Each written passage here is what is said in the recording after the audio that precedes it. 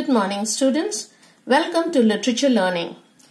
Today we are going to learn about the poem The Charge of the Light Brigade which is Sir Alfred Lord Tennyson's homage to the now infamous Crimean War. A patriotic tribute or homage to the valiant or brave British soldiers who obeyed the commandant's instructions to attack the Russian troops. So in order to understand a poem, we need to know a little about the poet and the background or setting in which the poem is written.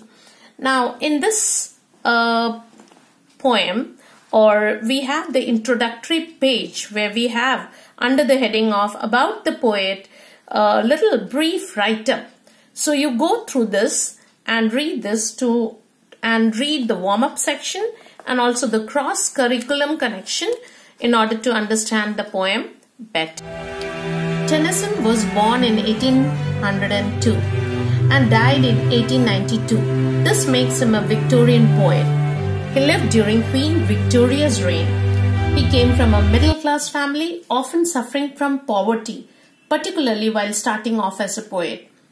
By 1850, he had become a successful and rich poet and was appointed as poet laureate, and this is a significant post it was during this period that he wrote the poem The Charge of the Light Brigade.